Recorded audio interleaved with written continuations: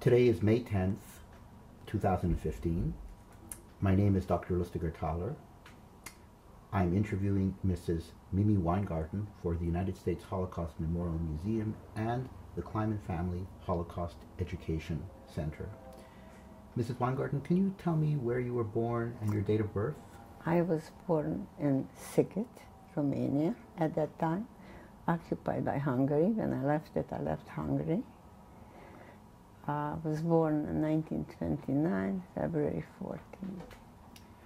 Tell me a little bit about Sighet as you were growing up, some of your early memories. As far as I could remember, I think it was a very nice town, nice Jewish life.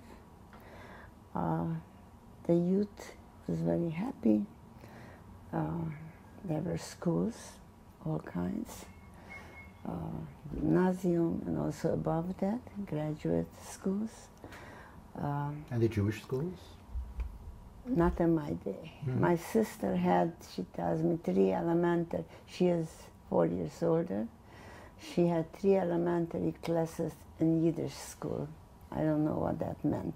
There was a Beis Yaakov, where I went to public school, and after school, we went to Beis Yaakov. That didn't last very long. I only had about two years because our teacher was sent away. I don't know whether she was German or just spoke German, was educated in Chernovitz, which was Romania. Uh, life was good for us children. We were sheltered. My parents worked hard. Father had a small business. We were not farmers, but he made uh, dairy products. The milks were brought in from the vicinity, small towns, was collected there from the farmers and brought into the city. And we had two milk separators. He made butter, cheese, uh, cream, and also hard cheeses. Mm -hmm. Made a living, hard work, I imagine. We children had all the little things in life, did not miss anything. Life was good. I thought it was very attractive. They called it small Paris. Paris.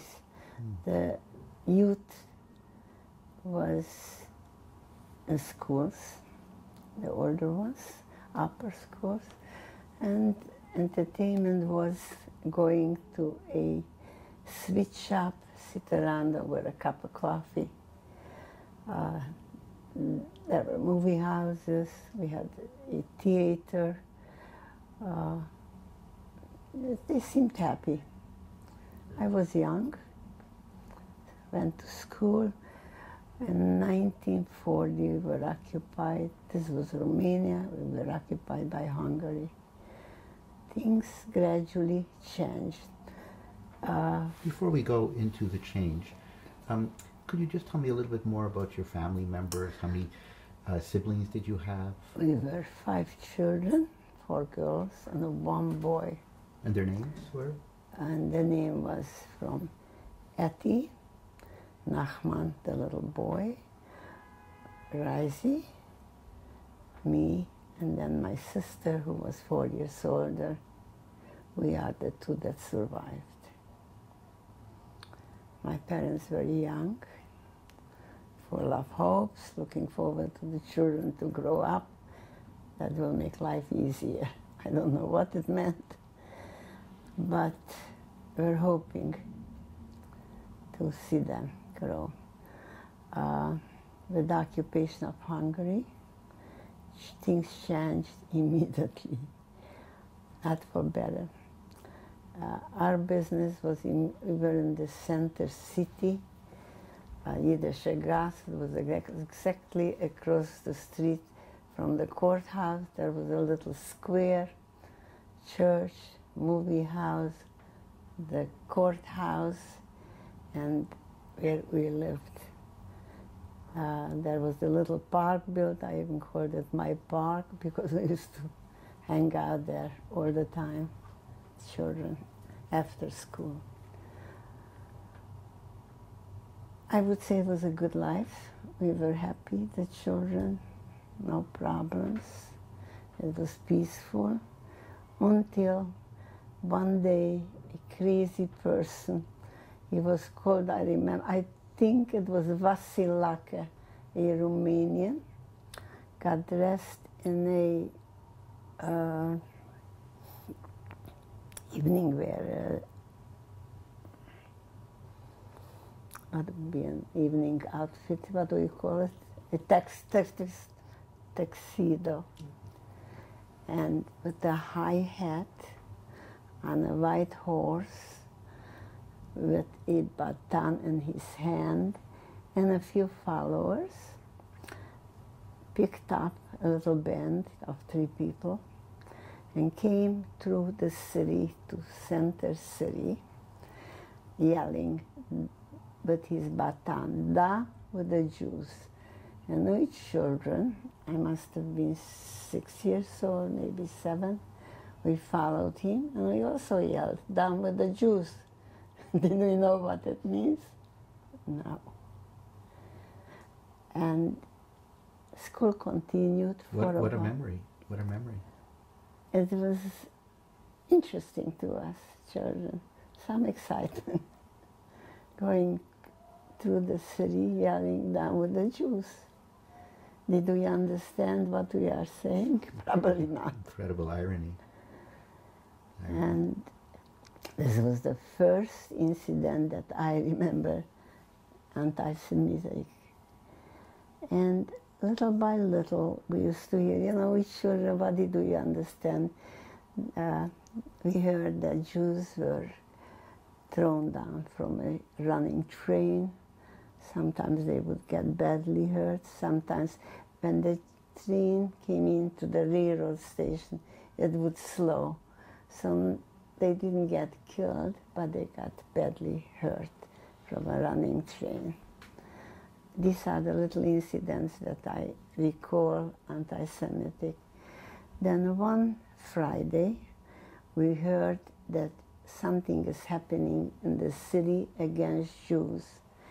So they locked the doors, the school was closed up, and they didn't let us get home. We were Orthodox children, it was a tragedy. Friday night, not to be able to go home. We were told to remain. They are notified. People didn't have telephones yet in their homes. They will notify the parents that they should send for the children because there was unrest. We didn't understand what it was all about, but it was already getting dark, and to us that was the tragedy. Friday night to remain in school. And little by little, people had maids, Gentile people, help, and they would send them for the children. Uh, something happened on the main square, whether they beat up somebody or killed somebody, I don't even know what it was. But it was the first uh, open anti Semitic incident in the city. Oh, that's what I remember as such. Life somehow wasn't the same. Jews started feeling insecure. We didn't know what's coming. Shortly after that, our area was occupied by Hungary. And that was a big change because people did not speak Hungarian.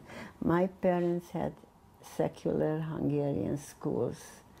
So in the house, my mother spoke to us Hungarian and my father only Yiddish.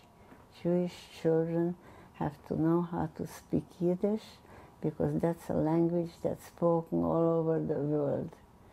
We didn't know what he meant by it, but we were told we will speak only Yiddish in the house. My father, we spoke to him, he spoke Hungarian because he had Hungarian school, would never answer only in Yiddish. So I speak fluently Yiddish because of that. And life was normal for a while. With the Hungarians, things changed already. We, my father had a business center city, very nice location. It was across the way from, across the street from the courthouse. It was a square, courthouse, a Greek Orthodox church, a movie building, but the entrance was on the other end of the city actually. It was very, very large. And the building where we lived, which had an upstairs, first floor uh, home, and downstairs business locations. My father had his store in that, uh, it was the entrance of this yard. We had a house in the yard. It was inherited. It was a Kahan uh, building. The original owners weren't alive anymore. They were relatives. I don't exactly know who they were to us, but we, the upstairs was occupied by the original owners, and we lived in that yard in our own house. I think it was inherited, but I'm not sure. Mm. And we went to school. It was public school that we went to. And after school, we went to Beis Yaakov. Came home at three or four o'clock. Until six, we had Hebrew school. But for me, that didn't last long. I had, I think, two years of Beis Yaakov. And then they deported the teacher. I think that she was a Polish girl, but lived in Romania, in Chernovitz. That's where she was educated. It was the second state from ours that she came from, and she had to leave. So Beis Yaakov was closed up. It was one teacher that ran different classes. And you had this teacher for two years? I was only two years when she was deported. Mm-hmm. Had to go home. Actually, what happened, the Hung- Hungary occupied Romania, that area. Not all Romania, just that northern part. It once, once it was once Austro-Hungary. So this is how my parents had Hungarian school. They had secular Hungarian schools, so they spoke Hungarian. My mother would speak, my mother tongue was actually Yiddish. My father insisted Jewish children have, did I say that already? I think I did. And uh, this is how I speak fluently Yiddish. But in the house was spoken Hungarian, so to us the change wasn't a tragedy.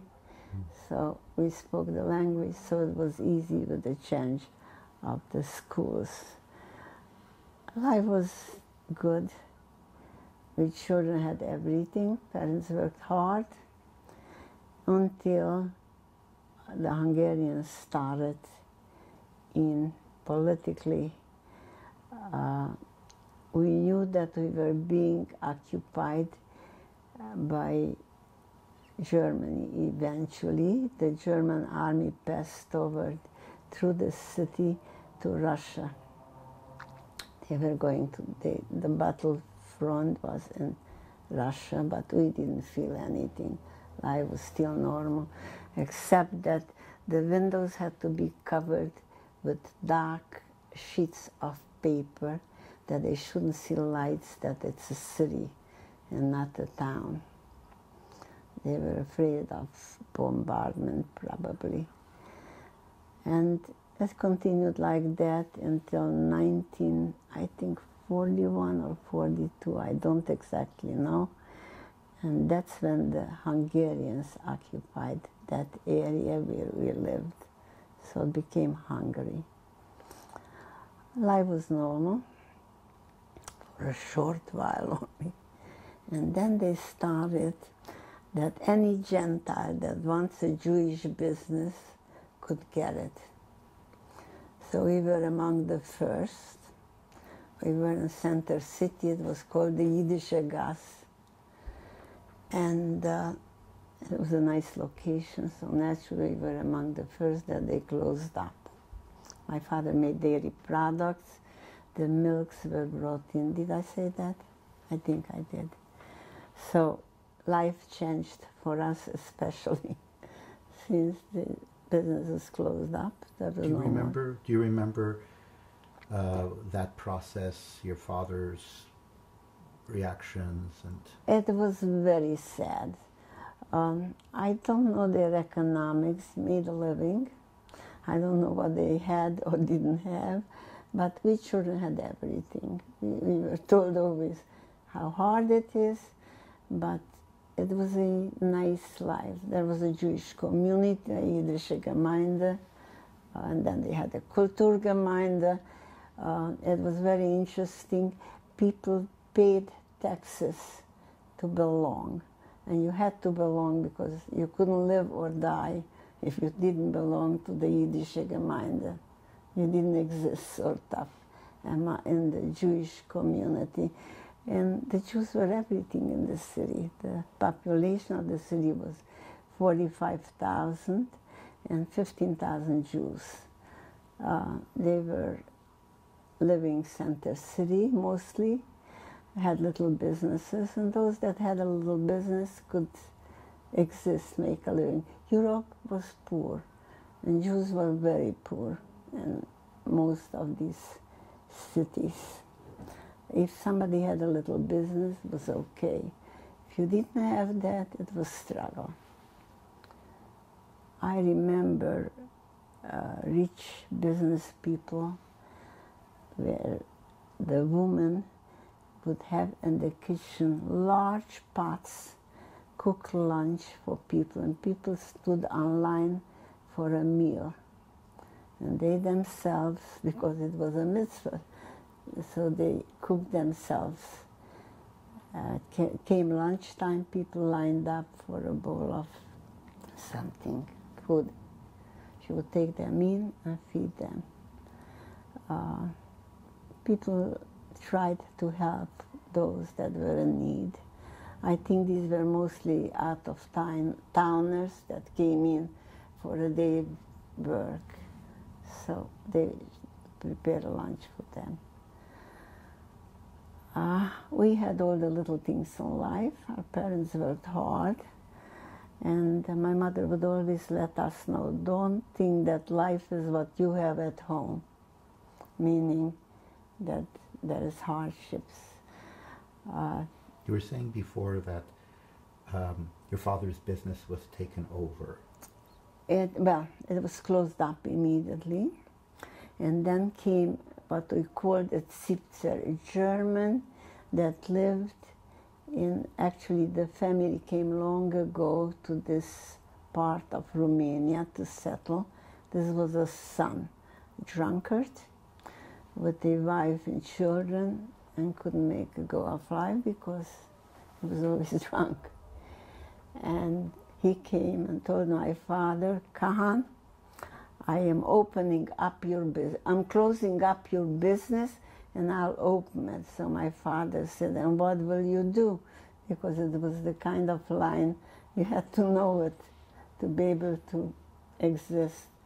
He said, I don't know, I'll sell something. He thought you just take money.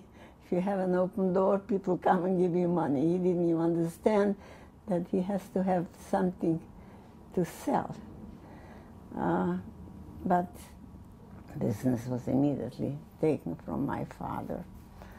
Um, naturally, it was a bad feeling. I don't know what they had or didn't, but five children in the house and no income.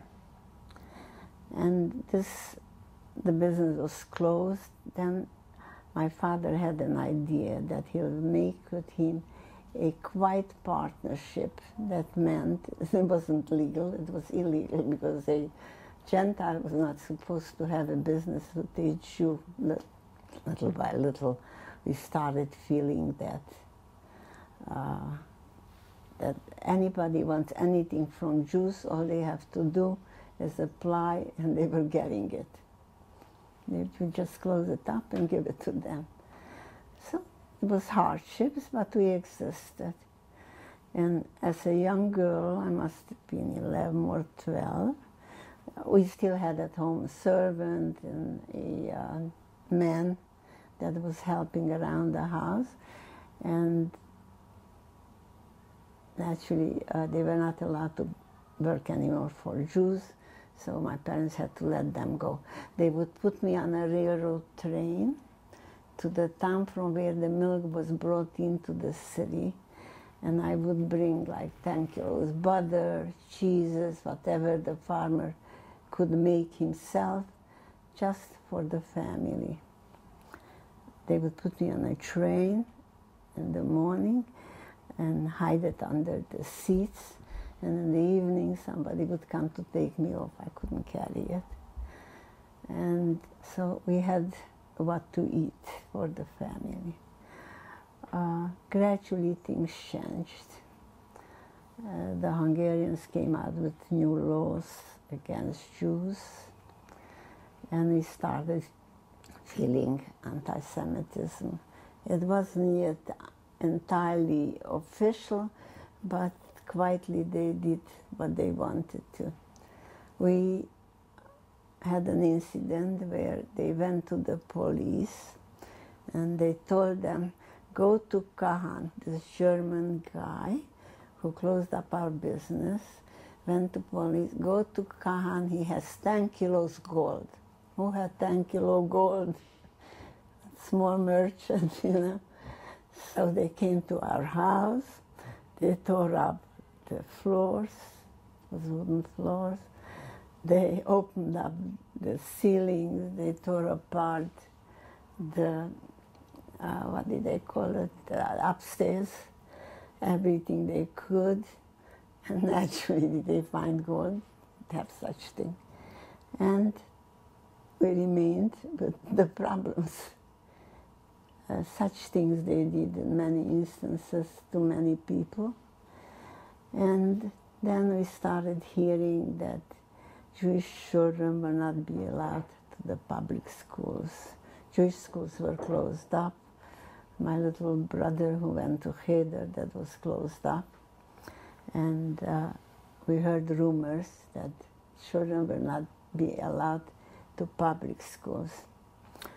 Uh, time came, and sure enough, we were not allowed to schools.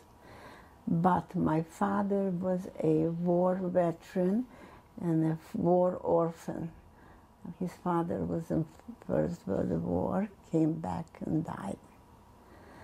And uh, because of that, they came out with a law that was called numerus clausus. My sister, who was already, she was four years older in gymnasium, she was thrown out. But the younger children, if we wanted to, we could go to a school on the outskirts of the city, close to the mountains, where the uh, peasant children, there was a school for peasants. They came down to that school. It was inferior to all others, but 6% of Jewish children were allowed to come to school, whose father was a veteran or something that they did exceptional for the country. And naturally, we hated that. It was far from home. We didn't have buses. We didn't have the kind of clothes that children have today. And, and it was hard. And uh, I used to come home and beg my father, why do I have to go? The Gentile children were very mean to us. We weren't welcomed. First of all, we were better students than them. They didn't like that. And the teachers were impossible. They were people that came back already from the battle's front, front injured. And actually, you made the war. we Jewish children made the war.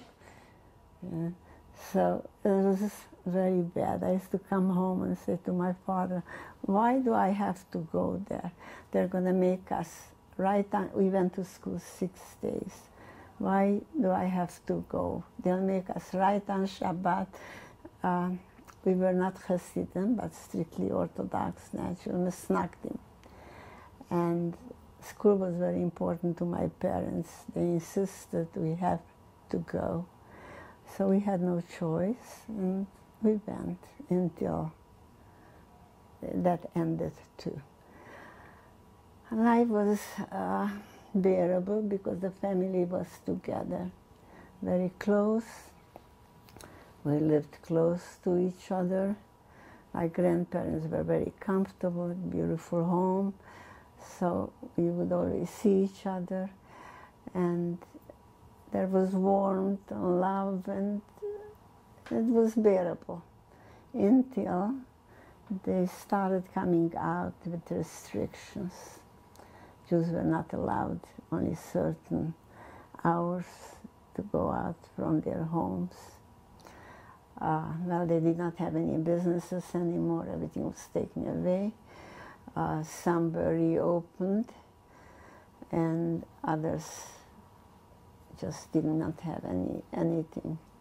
My father made a quiet partnership with this Gentile fellow that closed it up.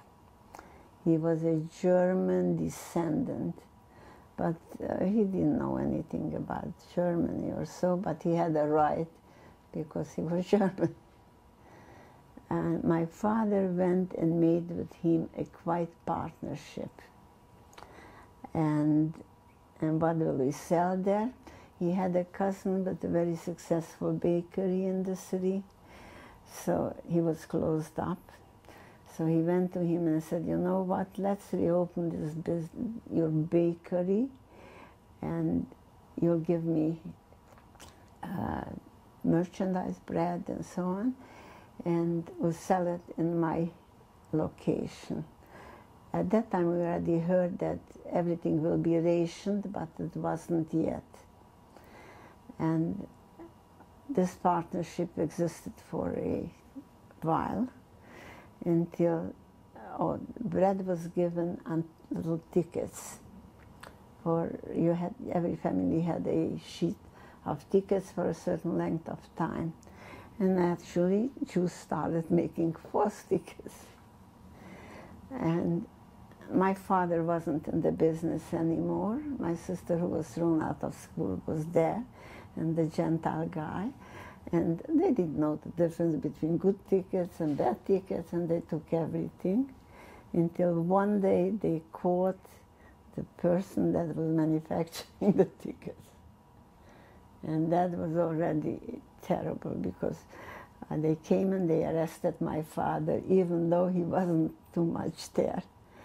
But my sister was very small.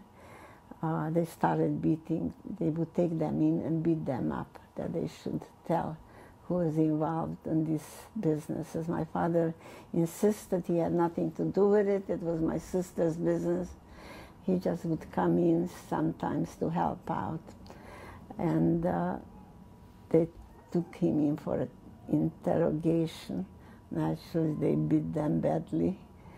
And my sister went to the, no, it wasn't the courthouse, I think it was the police, and told them my father had nothing to do with it, that she is the one that was in the business, and he doesn't know anything about it, he's not at fault. And they let him out, and they took her and she was arrested. She was at that time 18 years old, maybe less, I don't even know. And uh, she was put to jail. And there, for money, you could do many things. She was sent away by, we were Hungarians now. He was sent, she was sent away to a big jail in Budapest. And then my mother went up with money. And for money, you could do many things in those countries. There was a lot of uh, trust, trust, and Corruption. corruption. That's it. And uh, she paid off somebody, and so she was kept mildly uh, locked up. She would be sort of free, but had to report back to the jail in the evening. And then eventually, for money, it was settled, and they let her out. How long did this process take? This took a year. And it was very tragic for my parents. A girl in those years to be jailed, it was a tragedy. But we were still home. Life was going on. And gradually things had gotten worse. She took her out, even, uh, you know, for money. Like I said before, money was good all over. And uh, she was deported then with the family to, we were deported to Auschwitz uh, about a year later, 1944. Yeah, 44. Uh, it was hard. These were the things that happened before deportation. And it was very sad, naturally. Uh, we didn't know what was coming. Uh, we were locked into our homes. We would only be allowed out certain hours. This was not ghetto yet. Still, everybody was in their homes, but they had no income. Uh, bread was rationed, and I think milk was rationed. There were hardships because with children food was scarce. We were very, very lucky. My father had many Gentile friends from the army, and they would come around to see that they, we need something, and they would, would bring in lots. Of, they were mostly small farmers. They would bring in food like corn, fruits, and vegetables that they grew. So we were not too much in trouble. We could exist, but most people really had it very, very hard. Couldn't buy anything that just wasn't, it wasn't available. Uh, until 1944, and then we heard that they're going to take us away from home to labor camps. But I don't know whether anybody knew what's coming you know, uh, transportation wasn't what it is today. No cars, not, not too many trains a day were running.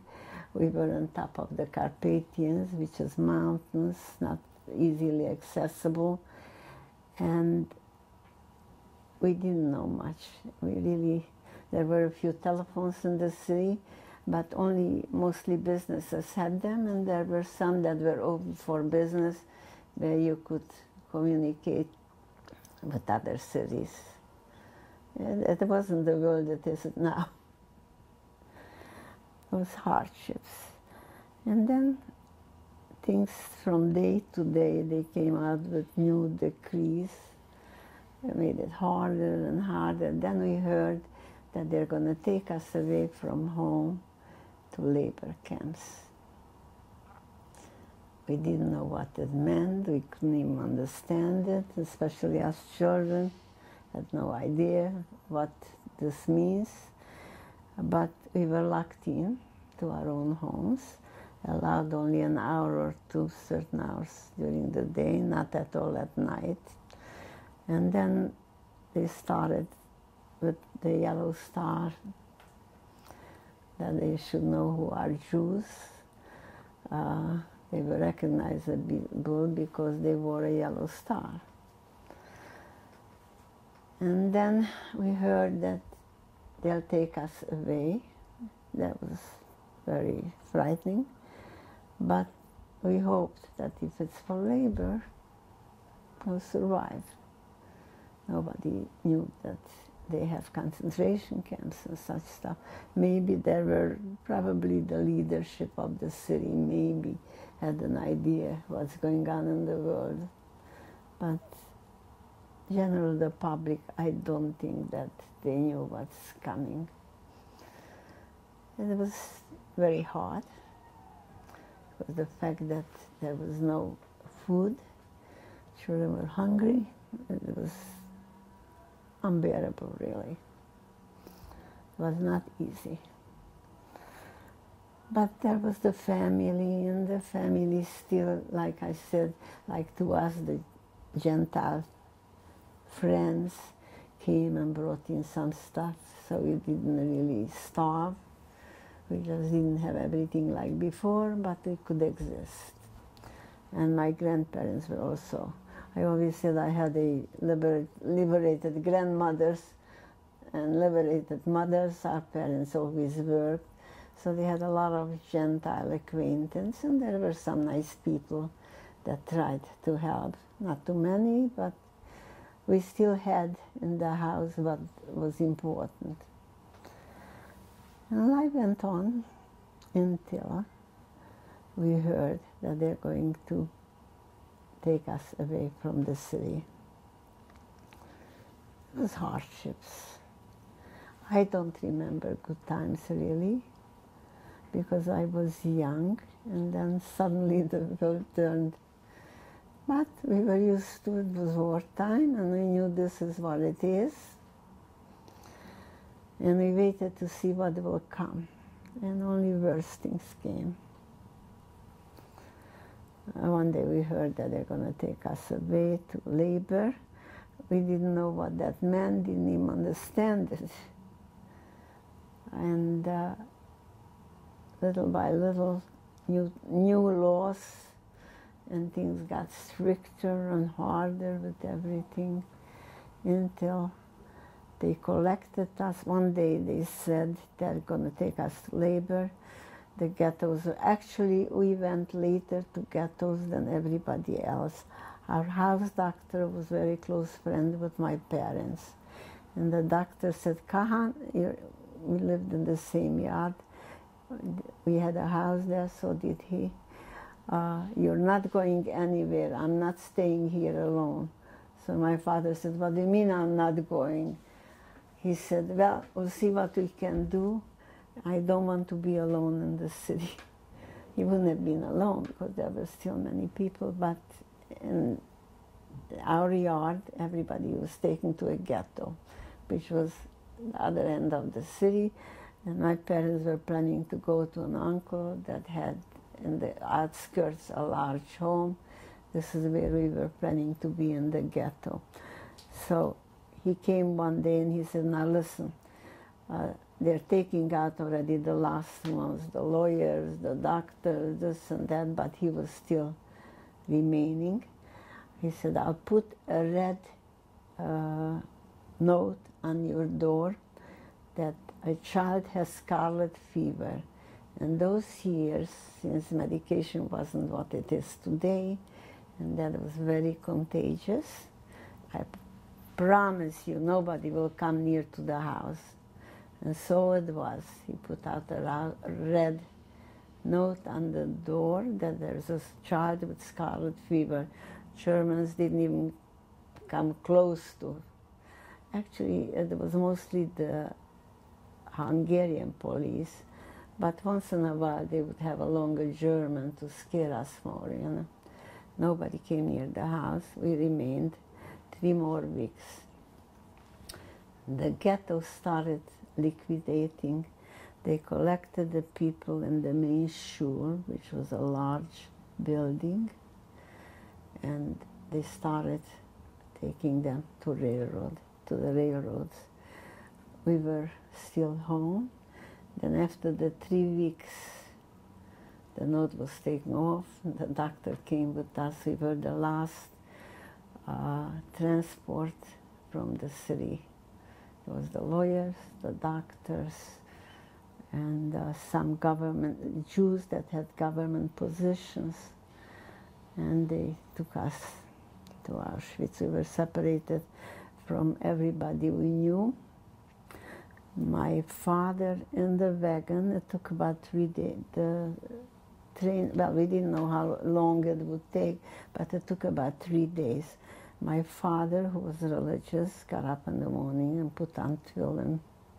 Oh, one of his brothers ran away from forced labor, so he came with us on the train. He didn't want to remain there alone in that city among the Gentiles. He couldn't have existed. They probably would have killed him. So he came along. So in the morning they got up to daven. They put on tefillin. So these people, the lawyers, the doctors who weren't observant, were yelling from the other end of the car, stupid Jew, don't you know where you're going? You're going to your death. What are you praying for? And very sad. We children, and we heard that. We didn't know what to make of it, naturally. It was very, very sad, and this was the trip toward Auschwitz. Was the entire family together Yeah. at this point still? my grandparents had left before because they were in the ghetto before us. We were among the last ones. So we were mostly with the outskirts of the city, professional people or people that worked for the government. The last ones that they pulled out, the Judenrat, which were the advisors of the city for the then government and so on. And we were heading toward Auschwitz.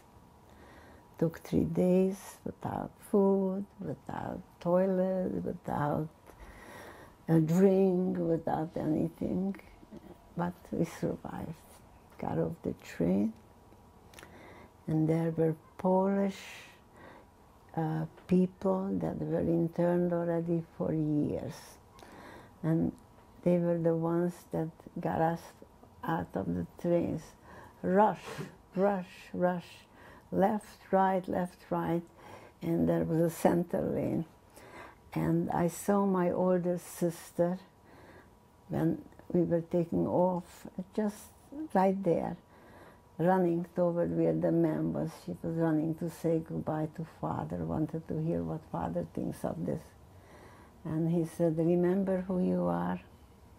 Wherever you will be, don't forget who you are from home. And then she ran to mother. And the same way, she had my little sister at her hand. My father had my little brother, who I don't even know how old he was. I think he must have been 10 years old, maybe 9, 10, we don't know. And uh, then she ran to my mother. My mother had run to her, to my youngest little sister. And she said the same words to her. And there was my little friend, the doctor's daughter. And I said, Evika, please come with us. I pulled her. Her mother wouldn't let her go. No, I want her with me. And then we started, we were thrown into the center lane. Didn't know what it was. There was a body on the wires. The wires were electric, uh, electric, they were running electric wires. And as she ran toward the wire, she was immediately burned. And when I saw that from there on, I didn't know what's going on. I was so confused to see that dead body that I just was going along, and it was with the youth. They put us in the group that were taking, they were taking to work. And somehow I lost myself. I was just going with the crowd, and we ended up in beautiful, clean halls with uh, tile floors, immaculate, big, and there was a row of toilets. Uh, we called them uh, not American, uh, English toilets. They were luxurious looking, very clean with clean water. And I remember wanting to go there to take a little water to drink. It looked clean water. And it must have been an SS woman. You stupid. Don't you see those are toilets? Didn't let, I didn't even get near it, maybe like three feet from that place where they had that water. But I was so thirsty that I, I didn't care what it is. It looked like water and I was going to drink it. You stupid, don't you see that those are toilets? Did not, didn't let us even near it. And then from room to room, they undressed us, shaved our hair, and there we were in Auschwitz. We, I was looking, I had a younger sister with us at that time, my older sister. We didn't rec- I was looking for them, couldn't find them, didn't recognize them. It was thousands of people, naturally. Well, in the rooms, probably just hundreds.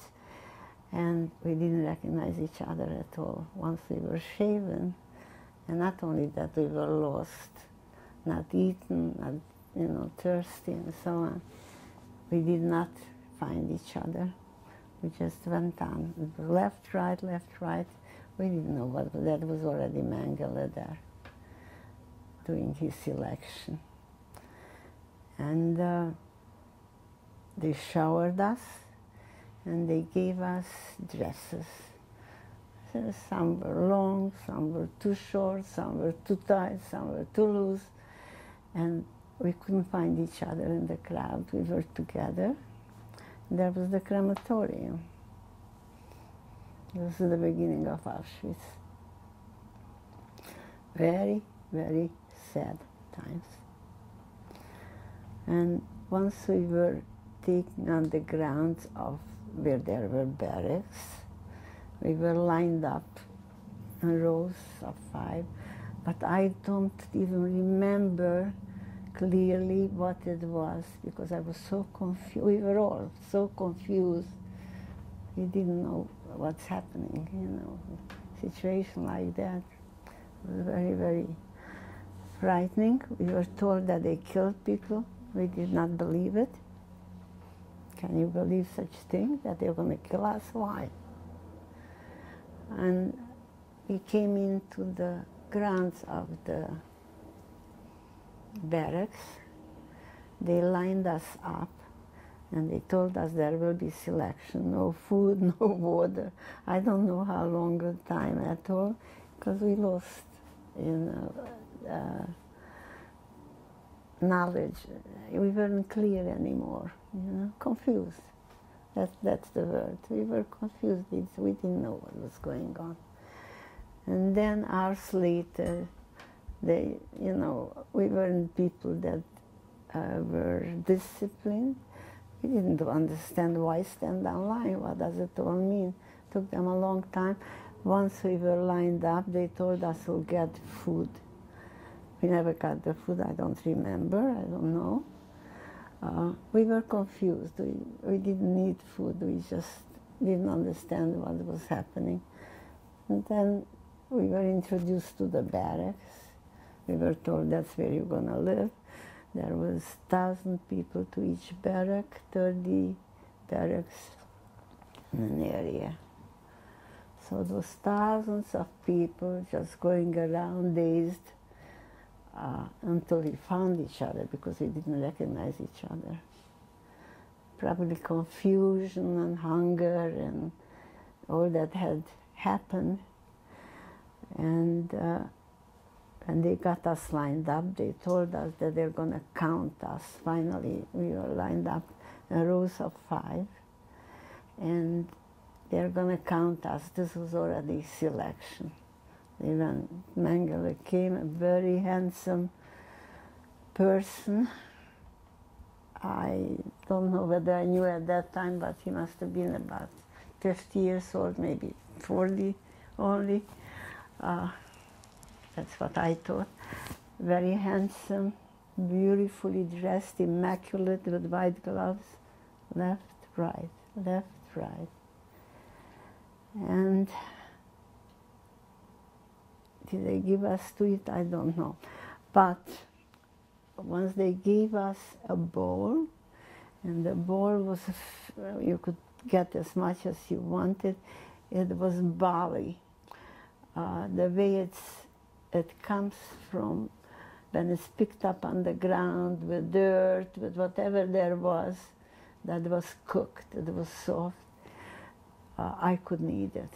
My sister, once I found my sister, we were together, three of us. And she said to me, she was older, Mimi, hold your nose, close your eyes, and swallow. I couldn't swallow that stuff. No way. For a year, I stopped in camp. I was 15. When I came out, I looked like seven years old. I ate the bread, which was a little square of some kind of mixture of grains, heavy, very heavy, about an inch thick. I would say four by four, little square that I ate. In the morning and black coffee. And uh, sometimes I would save it for the evening. And on that I lived for the whole year. Then came the problem. We were in barracks. Uh, there was no such thing as cleaning or shower. Oh, there was a washroom, they called it a washroom, which had faucets somehow. They were high up. People washed under it. My sister had an idea. We were very afraid. Uh, in a few days, people started itching lice. They had lice. Whether they came with them already from the ghettos and so on. So my sister went out during the night to the washroom, and that was not allowed. The barracks were closed. They had doors front and back, and they had like three, four people watching the door that nobody should exit. Uh, she, the doors were, these people were day and night there. We were not allowed to go to the washroom. There were barrels prepared, uh, large dishes for to go instead the toilet. And she had an idea she couldn't go on those barrels because they were smelly, it was terrible. She ran out somehow. She said to me, I'm going to the door. I asked her to, these were Jewish girls from among us that had these positions of watching the doors. That was a position. Uh, I'll ask her to do me a favor and let me out. I cannot go there. And if she doesn't let me out, I'll beat her up, I'll kill her, and I'll go out. And she went to the door. She managed to get out and came back. When she came back, she said, You know, there are clusters of chlor as it's taken out of the ground, you know. Uh, they were blocks, large blocks piled, and they're hard. But I could manage to scrape out some areas were a little softer and I would put that on my body. She put that on her body and washed herself. She came back. It's wonderful because that's going to keep us clean. We will not get lice.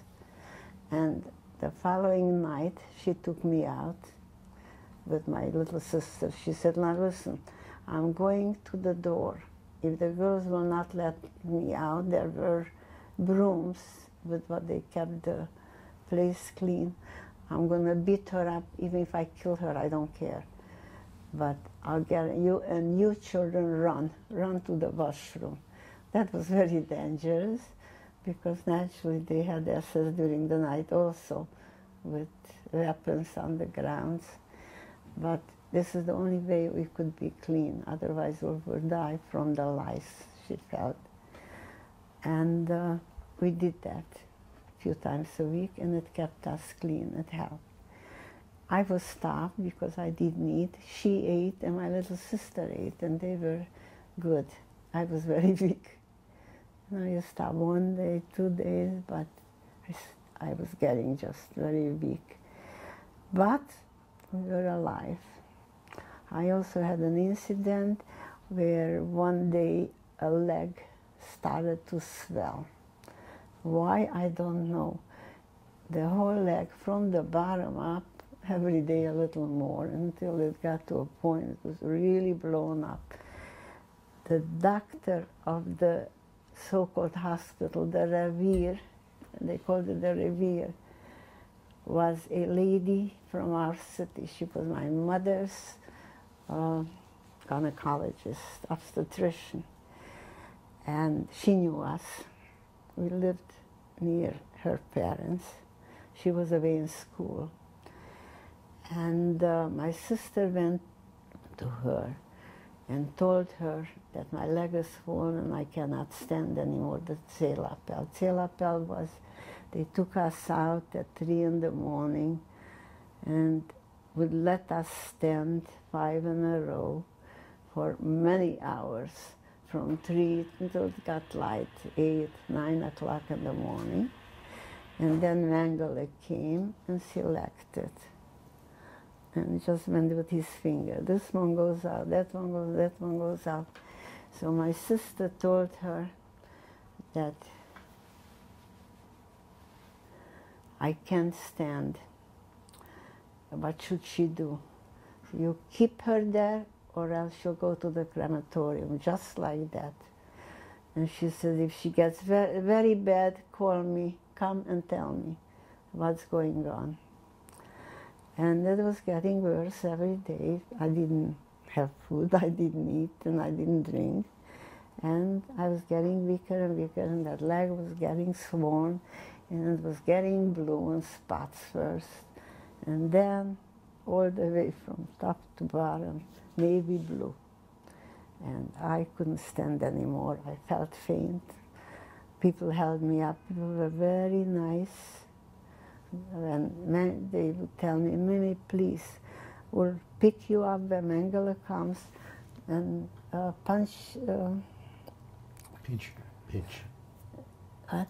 Pinch your Pinch your uh, face that it should get red. But please stand up when he comes. They held me. And then they let go when he came. I couldn't stand anymore. So I said to my sister, I don't care. Let them take me. I can't take it. So she went to the doctor who knew us. And the doctor said, all right, so bring her into the revier. That was dangerous because from there they took everybody constantly. She put me in with a light sick, those that weren't too sick, cold or such. There was such a thing too. Or um, somebody would have an injury where they would let them lay in the barracks. And I came there and I found there three girls my age. We were 15. And one said, the name is so-and-so. I said, where are you from? And she told me, oh my God, I know who you are. You're my friend. I was your friend's best friend. She was from a town near the city. The family, her uh, family, a cousin. We were just next door neighbors, actually. The buildings were touching back where we lived, and they had a business next to my father's business. And I discovered her somebody I know. And uh, the second girl was very sick. She was also from near her town. And she said to me, Mimi, I'm very sick. If I die, I leave you my bread. She couldn't eat, so she saved the bread. And she knew I am not eating. So you take my accumulation of bread. And uh, the doctor came, and she said to me like this, now listen, I'll let you rest here. Hopefully you'll get better. I don't know. But I promise you, as soon as I'll have medication, I'll bring you. But she didn't have medication. She would come to say hello. And she said, listen, I have here a friend, a doctor. I'm going to send you milk every day. So she sent me in a glass, tinchy bit of milk. Every day this doctor came and brought me the milk. And remember, cover up. And if they tell you a selection angle comes, cover up to the neck and smile and pinch your face that it should be red. And this is what I did. And I was there two weeks. One day she comes in, oh, I see a yellow spot. Your leg is getting better. it was navy blue. She said, ah, this is improvement. So I was hopeful, and I lay there two more weeks, and it cleared just by itself. And my friend near me died, the one that promised me the bread. And I opened my eyes, and the first thing I look under her head where she laid, where the bread is, and the bread was gone. It was very, very sad. I was very sad because I was hoping I'll have what to eat. And I came out from the Revier and back in Auschwitz. I was in the C-Lager, Birkenau, and there we did nothing. They just kept us. Actually, originally, I, we were in Block 13. And one day, I was getting thinner and thinner, not eating. They selected me out and they took us to the front of the camp, group of people. My sister came running. She said, Mimi, nobody's here. Run from here back. Wherever you're going, just go in someplace to a barrack, meaning where was there to go? But naturally, this wasn't that simple because if somebody ran away, a person was missing. And they searched the camp. There were 30,000 people. Could they find me? No. And I survived. And then she realized, you know what, your children are too young, you'll never get out of here. You can't be here, my sister. So what do we do? She said, I found a woman, and she says she's our relative.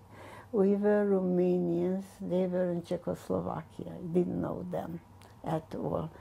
Uh, they were once in our house, my sister said, but I had no recollection of that. But she says she's a cousin. They weren't cousins, they were some distant cousins, mother's uh, cousin's children. And she was a, she had a position as a group supervisor, uh, barrack supervisor. And she had the children's block. So my sister wanted very much to go into that block. Maybe there will have a better chance. Among adults, we were halflings, little and thin. Maybe in the children's block, we have a better chance of surviving. So she arranged and took us into her, to her barrack. So we were in the children's barrack, a little more safe. But I was selected out of there too eventually because I was I didn't eat, so I was just getting thinner and thinner. But I was healthy, survived. I would have survived. Just they were killing people, and uh, we did nothing there. This was the C-Lager, the famous C-Lager in Birkenau. We arrived to Auschwitz, but a few days Later, they put us in there. There we remained. And then we did nothing, sat in the sun, which was very hard to take, on the ground naturally, alongside the barrack, as much shade as we could get out of those walls, and doing nothing. And then they started taking transports to work, but we knew that we had no chance of getting selected to work because we were young. And they needed strong people. That's what they said. Uh, we never knew what they do with the people and where they went. We had with us a, how was that? A second cousin. She was a very good looking girl an aunt had taken her to Berlin. She was educated and did not get married. She must have been, I think, 28 or 30 years old. And those years, that was old. My mother already had grown children by then. And she sort of, she was very close with the family. Family always stayed close. Friday night after dinner, everybody would come for, to the house for cake and tea. And they would spend like half a night just the men learning and the women chatting, singing, and so on. You know, there's no TV, and all those radios were taken away and such. And she sort of felt an obligation. We were the children. So she didn't want to go to work. She tried to avoid it that she shouldn't be taken to work. She was very beautiful, good-looking girl, intelligent, sophisticated appearance. And she said, because of you kids, I am going to die here because you don't eat and you're getting thinner, every, bigger every day, and I am going to go to work. She announced it to us. We were sleeping one next to another on the cots. And uh, my sister said to her, if you think you could go, you go, because here you're not safe, that's sure. Next to us was a lager. It was called the Zigeuner, the gypsy lager. And they were there with children and mothers and grandmothers and husbands together. And they somehow, I don't know where they got it from, they would even cook outside. They would make a little fire and have a potato and bake it or a corn. How they got it, I don't know, but they had. It used to be smoke and they would smoke that, that food smell, you know, because they were just separated with wire uh, fences. And uh, we called her Zali Nini and so and so. And uh, she announced to us, I'm not going to stay with you kids here. You're not eating. I don't think you have a chance of getting out of here. The first chance I have, I'm going to work. A few days later, they announced that they're going to, no, no, it wasn't announced. There is a rumor that they're going to take pretty women to special work, just those that are good looking. And sure enough, Zalinini, the way we called her, announced to us that if she gets selected, she's going. And she was selected out and was going. Following morning, we get up in the morning, she's on the lager next to us. The gypsies are not there anymore. They took them out during the night. They put in these good-looking people that they selected out. And we were very happy, hoping that she'll remain there. The third day, the lager was empty. They said they cremated all the pretty women that night. They didn't have what to do with them, took them straight to the crematorium. Zalineni wasn't anymore. But we remained. We were in the children block doing nothing. Seven months in Birkenau, doing nothing, sitting in the sun during the day, being counted twice a day by Mengele, selected. I don't know how, but we remained. It was just meant to be, it's accidental, nothing else. And then we heard that Birkenau is closing up. It was actually the months we were going, it must have been October by then. We came there in May, October or November, that they're liquidating, closing up Birkenau. And we were wondering what will they do with us, but we didn't know. And they called it, it will be a general selection. Oh, before that, they took me out one day again. I was selected out because I was very fragile, very thin and little. My little sister was strong, she was good. She was exactly a year younger than me. Exactly. My mother used to dress us alike, like twins, because we used to be very jealous of each other. Even if a sock had a different design than the other, she had to return it, send it back, and get one that is the same. We were very close, but also very jealous on each other. She was a smart little girl, and uh, they selected me out. They took us to a barracks. I'll never forget that number 34. And there we were, waiting that they're going to take us out. During the night, I didn't even know. I thought that my sister came to tell me something through the walls. Mimi, I'll come there in the morning when they go for the coffee. And remember, be, be prepared, come closer to the door. I'll beat up the woman that's at the door. That's how she was. She was always beating up everybody. And if she doesn't let me, I'll kill her. I'll go and I'll take you out of there. I thought that she said that to me through a door because I was dazed and frightened. and I didn't know what was going on. She came in. Either she tells me today, how can you not remember that I was in there for you? She came and took me out and told me to run. And wherever I can go in to a barrack, I should go in. There was a thousand people in the barrack, so the chances would be that they wouldn't find me. And that's how I remained alive. The day after, when they came to take out all those that they selected, it was called general selection, and the rumor on the grounds was that they're going to close up Birkenau. And we were wondering what will happen. So they, in the evening, they took us out to a camp across the way. We were in the C-Lager, C-Lager. And uh, we were waiting to see what will happen.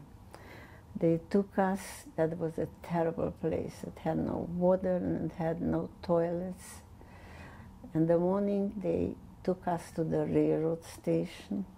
They gave us new dresses, clean dresses, and they put us into wagons. And they said, you'll get breakfast soon. The breakfast never came, nor did lunch, nor did water, nor did anything. They kept us, it was very hot. And they kept us till the evening. Then they took us out of the wagons, they undressed us, and back to this terrible lager. And we were told that tomorrow there will be general selection. We didn't know what to expect. They lined us up, Zählappell, Mengele there naturally, and my little sister was taken away, just two people before so as they took her, but there was nothing to do. Uh, my sister begged her to hide. Oh, what I didn't tell you is, in this terrible lager we were, I think, about three weeks, there was a old German soldier. He was a Wehrmacht. And there were lots of barracks behind us. And those barracks held the stuff that the people brought in, blankets and whatever, clothing and whatever they had. And uh, this person approached my little sister. She was young, she was 13 years old. Said to her, listen, little girl, you have no chance of getting out from here. Come here in the morning. They would take us out at 3 and Mengele came and about 8, 9, 10 o'clock, whenever. Come here in the morning and I'll hide you in these barracks for the day and then you'll go back at night. This lasted three weeks. She would go there, he would hide her under blankets and tell her when to come out. She said, but I know I will not survive because this cannot go on like that.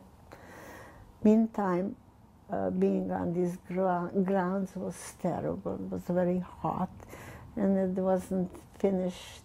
We had usually finished roads.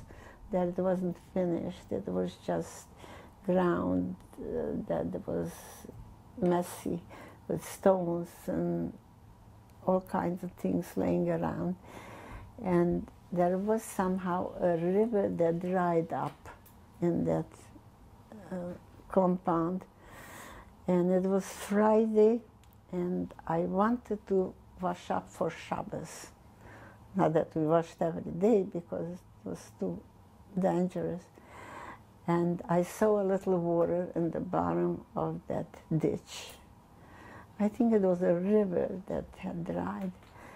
And I had a, my soup bowl, and I went and I took a little water, and we would tear off a piece of the dress and wash up. And I undressed on the grounds where I thought nobody sees me. I mean, there were 30,000 people, there was no such a thing. But to me, it was satisfactory to go and wash with a little water in the bowl. And Nessa's woman was on the roof, someplace, on the roof someplace, and saw me, and she came down and she beat me up with her, what do you call it, a uh, leather strap she had. It has a name, but I can't think of it. I know it in Hungarian, but I don't know. Ostor, what is that? In one of these leather sticks.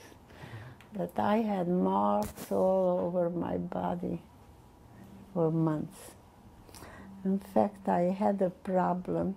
They found on my spleen five dots years ago here under under uh, checkups. I had a problem with had the gallbladder removed and somehow some stones remained in the bile duct. And I was running fever for many days. This is here already. And the doctor saw those dots and tried to figure out what is that. Uh, to different hospitals. I was between Lenox Hill and Sinai. They couldn't understand how could there be two, three, uh, five little rounds, one next to another, on the spleen. They, at first they thought maybe it's cancer, but they realized it's not cancer, and they didn't know what it was. And the decision was, I had told them that I was beaten up with the rubber strap. I don't know whether she had a metal something at the edge or just a knot. And they thought that it could be that I had I, a sore there and that it dried up and it left these little five dots. But I still don't know. I was all right. It wasn't cancer and that was good. I don't have a tissue. Anyway, and, and Mrs. Weingarten, you're going to stop for a moment. very good. I'll go get the tissue. We're okay? going to stop for a moment. We'll pick up later. Thank you. We'll begin again, Mrs. Weingarten. Uh, so your last discussion was um, There's in- in- general election we didn't know what was happening with this Bay option drive. Did I tell you about the transport they took us on and then they undressed us again? no. Continue with that. No, I don't think so. Ah. So my little sister was taken out in front of me and that was very hard to take. I was very close with her. My mother used to call us the shortest children. Actually, it's exactly the time. It was shortest. And I was heartbroken, terribly broken. With her, uh, we would always, my sister was four years older, she sort of uh, was sort of distant. Uh, with her, we would celebrate Friday night. We would save our bread that day from the morning to the evening. And then, if we would find a piece of paper or a piece of our dresses, because dresses were too long anyway, we would tear it off and go behind the barrack and make ourselves Shabbat. And one time, my little sister said to me, Mimi, you know what they say?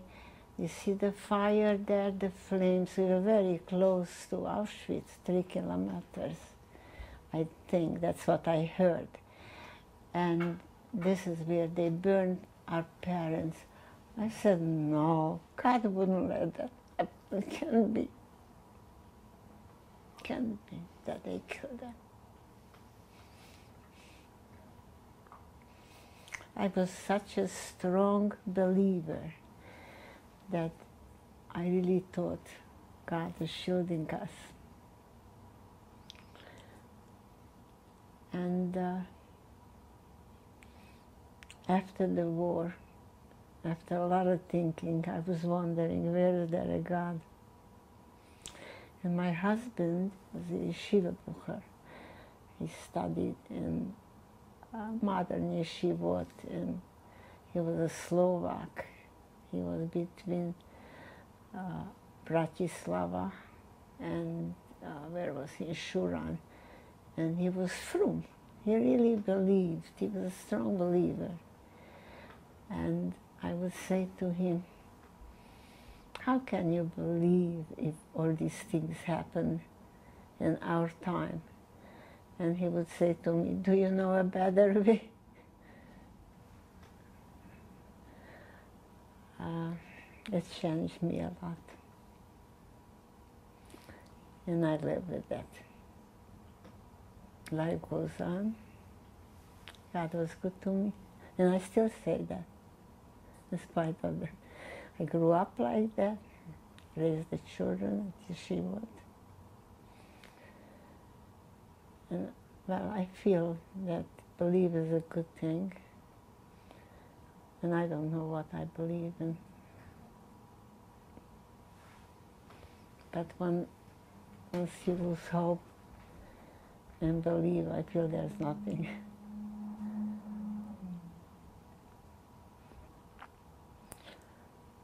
Uh, where did I leave it off uh, Beapshni dry? You were you were um, taken on on a transport. We were yeah we were dressed up. They were supposed to take us to work. They kept us a whole day, no water, no food, no toilet. And they said, "You're getting you're getting it later. You're getting it." the doors were locked." You're getting food later. Food never came. It was six o'clock. They took us out of the train. They left us with the dresses, took us back to B-Abschnitt Drei.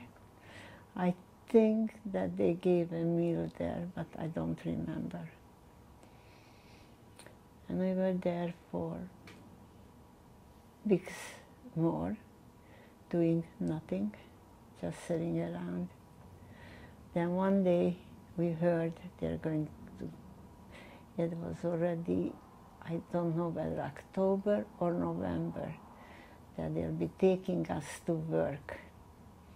It was already many months in Birkenau. They were closing up that camp. But we also heard we had among us a group of Russians, and they had some radios. They, they had news of what's going on outside, but we didn't get much of it.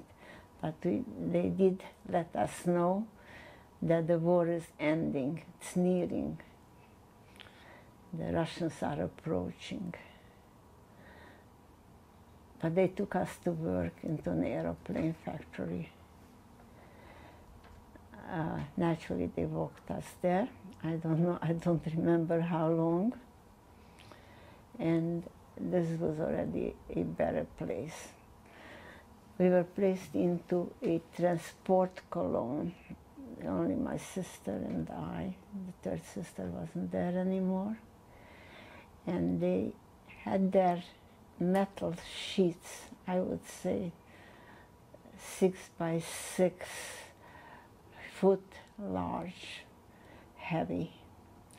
And we were supposed to take that just one block from one building to the next in this aeroplane factory.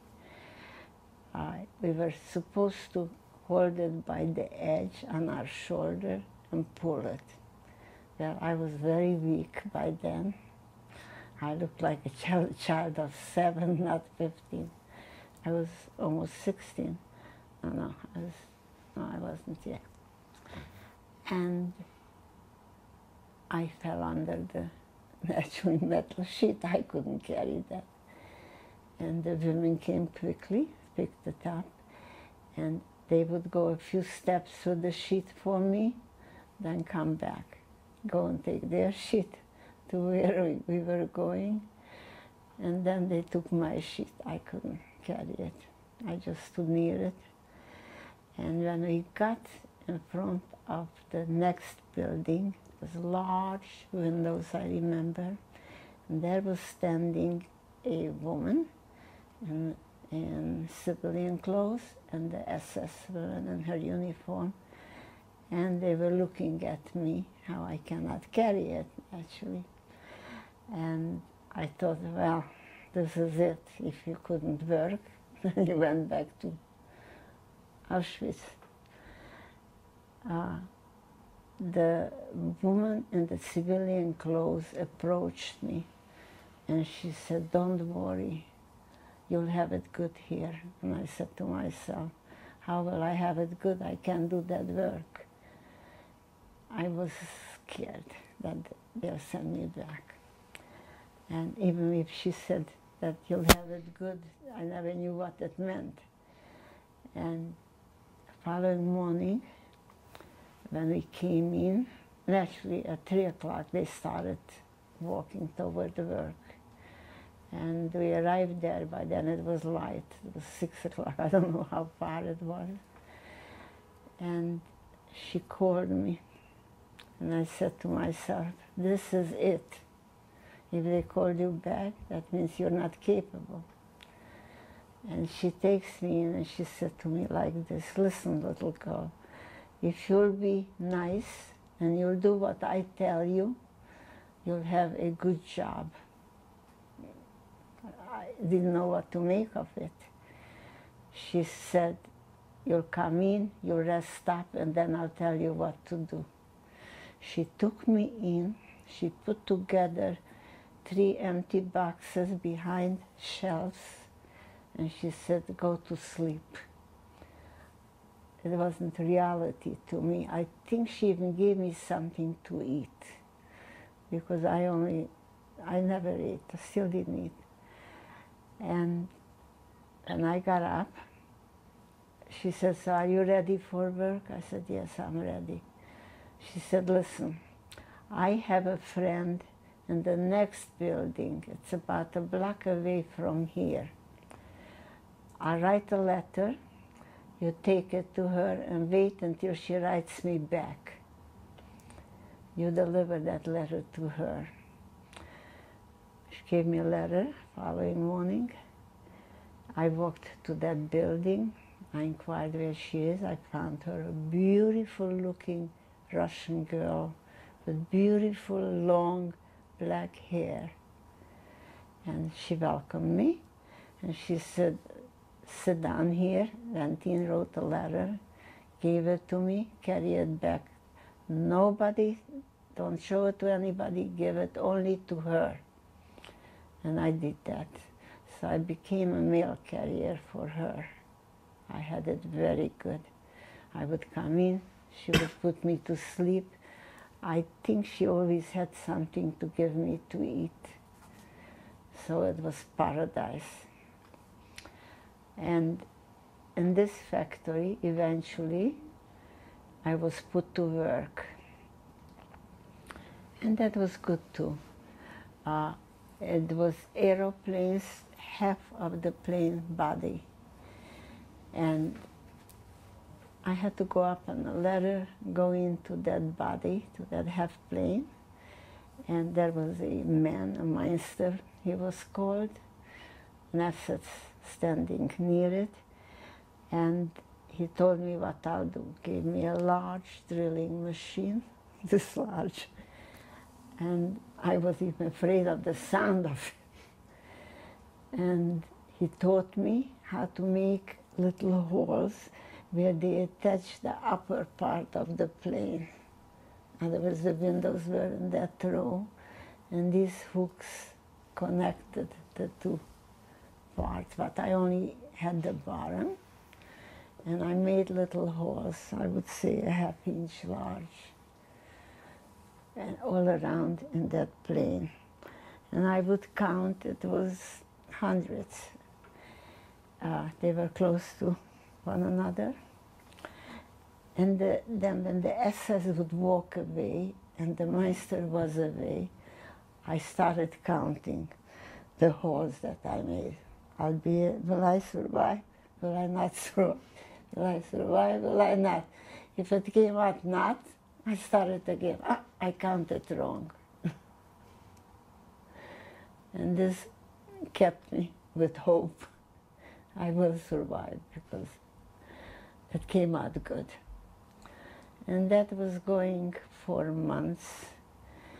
Uh, it was good because the work wasn't hard. And uh, I don't remember the food, but I think there was something already that was edible. I don't even remember. And we were there a few months. This was uh, October or November. And it was May 5th, May, must have been the beginning of May when they started marching us. We didn't know what's happening. I heard the Russians let us know. We weren't with them. Everybody was in separate areas, these factories and the factories. Uh, the letter carrying stopped and I was working doing these halls and I heard that the war is ending. I didn't know what that means naturally, but we were hopeful. And uh, one day they marched us out, not to come back and not to the factory. We marched, I think, for two days, and that was terrible. No food, no water. I had a pair of wooden sole shoes with cloth. And after walking for a while, came up with blisters. And then the blisters were busting. And I was like in a bowl of water. And that hurt terribly. And I said to the people who I was standing with, we were in lines of five. If you couldn't keep up, they shoot you. No way out. They just, people remained a lot, most of the group stopped. They just couldn't go. My people carried me. They pulled me. I couldn't walk anymore. My feet were hurting so that I couldn't, it was impossible to walk. And they pulled me until I think it was the second morning. They told us we'll go to a restaurant and a building, you'll get food. It was supposed to be a restaurant in the outskirts of a town. And they brought us to a building. It was night when we arrived. I collapsed. I just fell asleep. I didn't collapse, I fell asleep. That's all I remember. There was a banister, and I stopped near that banister. I wanted to sit down on a step, but it was taken before I was able to sit down. And I just fell asleep, fell down on the ground, and I fell asleep. And in the morning I heard, get out, get out, we are free, we are free. This was in Barth, northern Germany, northeast Germany. I don't know. The town from where we left was Barth. I didn't know where we were, and I didn't believe it, that we are liberated. And people said, we are here alone, no more SS. And then we saw them running on the road. This restaurant was at the edge of a town, and there was a I think a highway or a smaller road, I, I don't know what. All I know is that I remained sleeping and I woke up and they said, they said, the Russians are here, the Russians are here. Oh, they started yelling, that's how I woke up. The Russians are here. And what did that mean to us? They, we still didn't get food. We, they took us out of that building, chased us out. It was like small woods. And we entered those woods and I fell asleep on the ground. That's all I knew. And then, oh, there's food, there's food. A tank came and I think they had bread. And they gave out bread. I don't know whether I got a piece of bread or not because they didn't have much. But they said that the Germans ran away there on the roads. Uh, some of them undressed, changed clothes, and came to stay among us. But I don't remember anybody. I was finished. I fell asleep and I just slept. And then trucks came and they did bring food later in the day. And they put us on trucks and took us into Germany to, there were liberated uh, war veterans, Americans. And they put us into barracks and they told us to be careful because the Russians are wild. They were people that were six, seven years in the army, came there young and they are wild. And the Americans are war veterans. You better stay just where you are. That's where you'll be safe. And they gave us food. We settled into those barracks. And from there it started the after-war troubles. It was, we were liberated, but we weren't really free because we dealt with people that were wild. The Russian army, the soldiers wanted only women. That's what they wanted. So somehow two older officers took us under them we were safe. Uh, they told us not to talk to anyone, not to accept anything, and not to go with them. This was in uh, New Brandenburg. I still don't know where it is.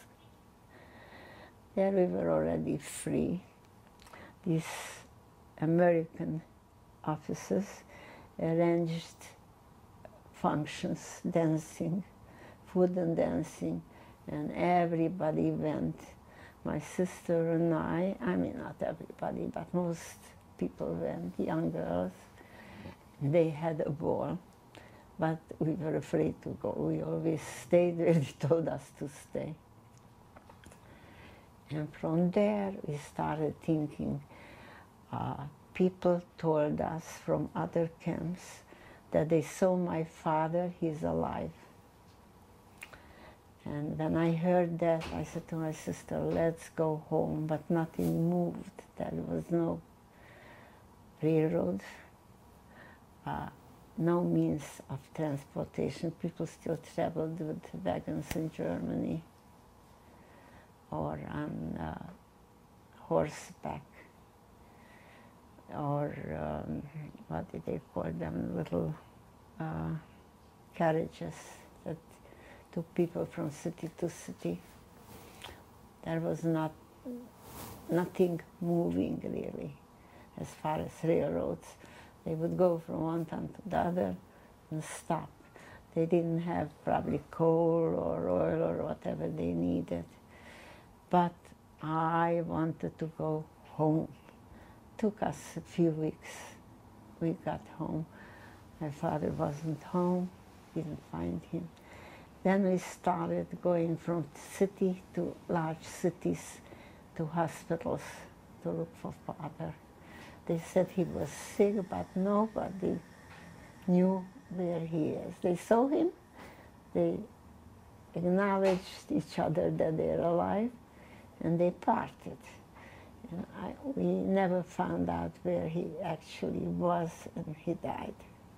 We went, came all the way to Budapest, that had a large Jewish hospital.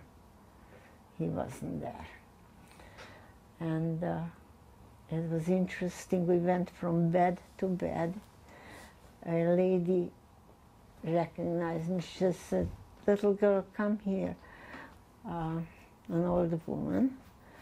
And uh, she said, I am your relative. my relative. So yes, I'm from there in that city. And I am your mother's aunt. She said, you look like your mother. I could tell that, who you are. But we continued on looking, never found my father. I don't know where he died. Went all the way home. House was occupied by Jews. Business was reopened, occupied. They didn't even let us in. They were a large family. and they didn't have where to put us to sleep for even one night. So we wandered in the city and we finally ended up at the joint. I just got this week, oh my God, I didn't see that word joint since then. I said to myself, that's an organization I should support. They took us in. There was a children's home there pre-war, and they bought dairy products from us. And some older people recognized us, who we are. So, well, they had anyway, whoever came back for a few days, you could stop there. And I just wanted to go back, find my father. Never found him. Uh, and this is life after liberation. It was still sad for a long time. We got onto railroads and we were penniless. Oh, in the city, uh, we went to my father's a friend businessman. He had wholesale and retail of everything. And he said, oh, your children have here a fortune. What fortune do we have? He took us to a stock room and showed us two large boxes from ceiling to floor. My father ordered milk separated by elect electric we still had machines that were turned by hand.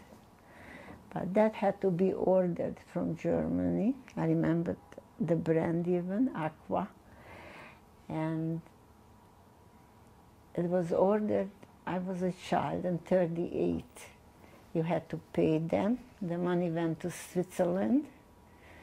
And it was promised to be delivered in 1944. You know, they were good at that. They were delivered in 1944 when we were deported. But he left this friend that if that arrives, please, they're paid for, accept them. And he did, and he said, take them. Do you need that? Very sad. We were penniless, but we didn't even have the brains to ask for a few dollars or something. Didn't even occur to us, did I need money? I wanted my father, not the money. And they remained there. Eventually, in a few days, my sister had a boyfriend, and she, who she was corresponding with. He was from across the border from Czechoslovakia, a very distant how is it, a distant relative of my mother's son. And he came to the city already in very bad times. To the doctors, they allowed, we, all, we had passports. In fact, I have pictures of my parents, and that's because we found the passports.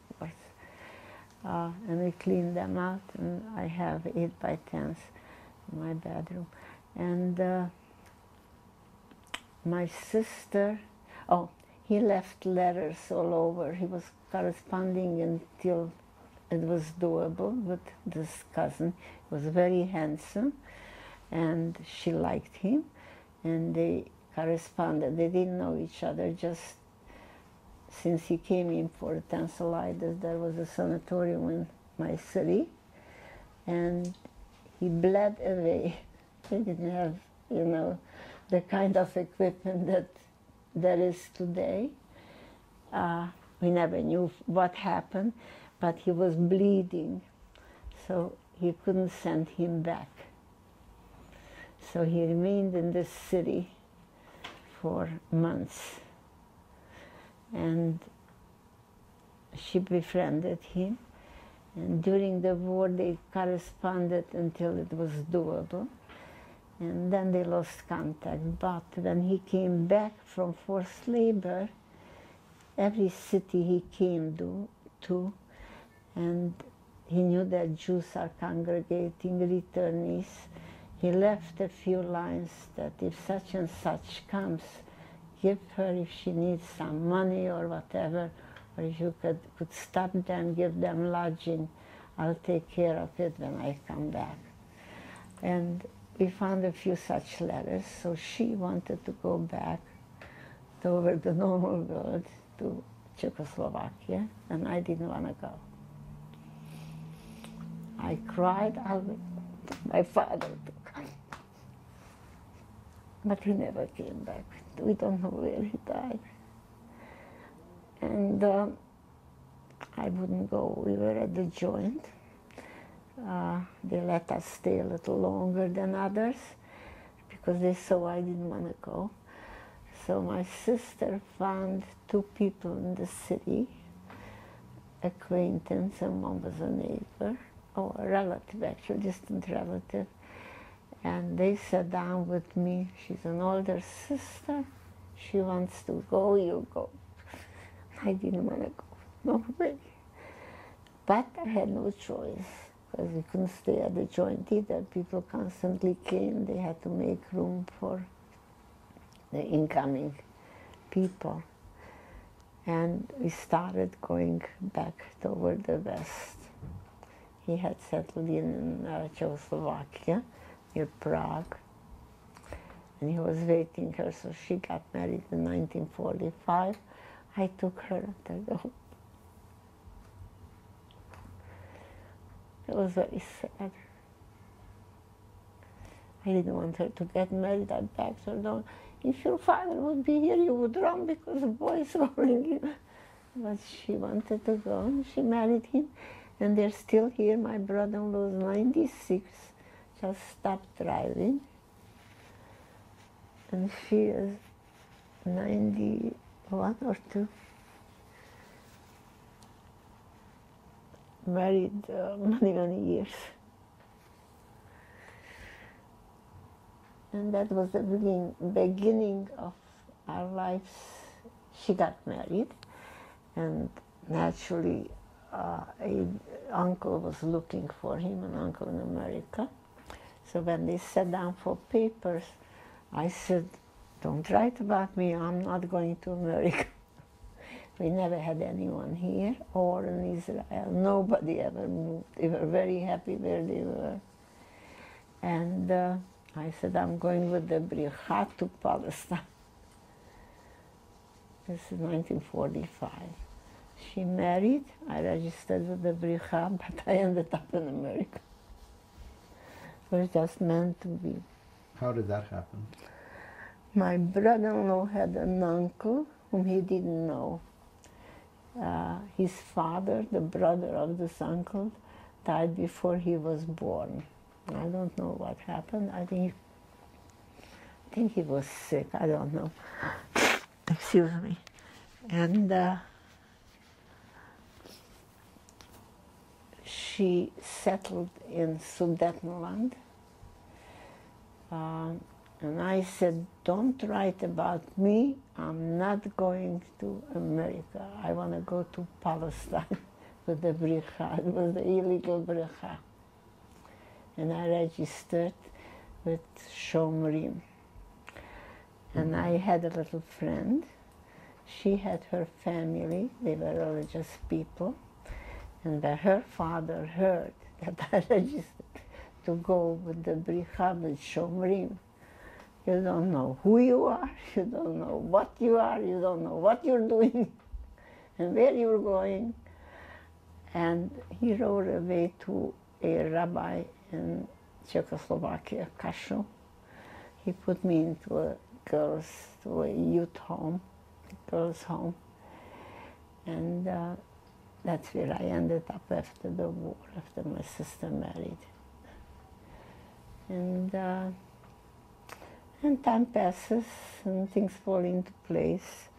She cried when I, why do I go? What if things will be bad or never meet? Who knows? it was such a wobbly, insecure time and existence, especially for me. I was young, 16 years old. Did I know what I want? I just know there is Palestine. Oh, we had two Russian fathers that we picked up at liberation. They were two Jews. One was Jewish minded, And he said, You go to Palestine. And the other one said, No, come home to Mother Russia. Uh, they were good people. They saved us from the wild army. They were with us. They kept an eye on us and they helped with whatever they could. How we lived, I don't know. You know, homeless. That was the truth. We would shower under railroads, under, I don't know whether they still existed in, oh well, in France you saw them. The large pumps on the railroads, that's where we would shower. In the, in the one dress that we had, so the dress got washed too. Unbelievable. You know, today if I think back, that, yeah, I myself, no wonder that the world denies it. Could that have been reality? The trip that I just took with you, I really was there on that cobblestone walking. And uh, it never left me really. It's always with me. I mean, that experience, the way I lost the family, the way things happened at that time, it's just didn't go away. Pictures are very clear forever. And Hitler said that, that those, did you read Mein Kampf? I'm sure you did. Mm. You know what he said, even those that will remain will not have normal lives, and it's true. That remained with us forever. Just can't go around crying or telling the world what it was. And today I say to myself, no wonder the world denies it. It's, it's unbelievable, isn't it?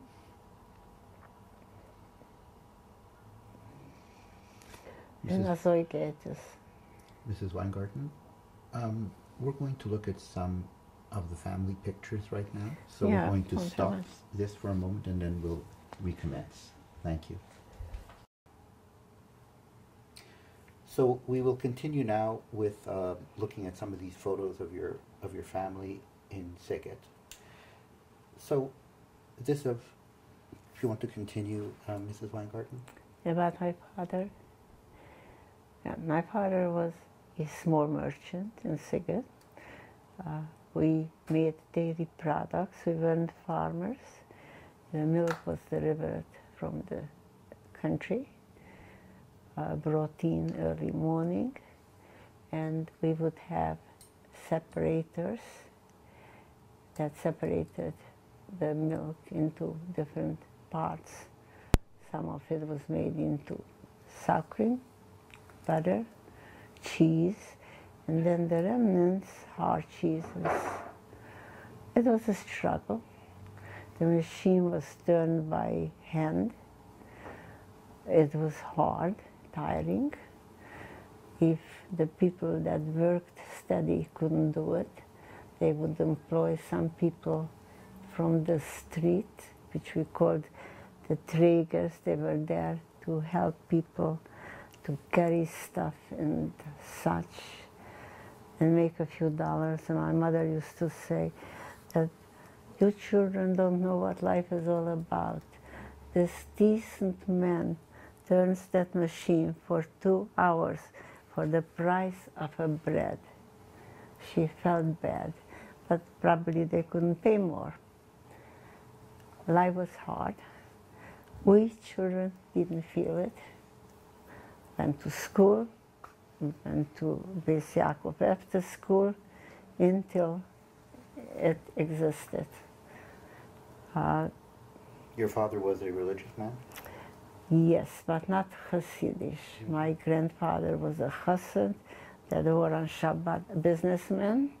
He was an importer of herring, uh, made a good living. They had a beautiful home. Life was beautiful. He wore a kaftan and shtreimel on Shabbat. Can you uh, explain a Shabbat with your father at the head of the table?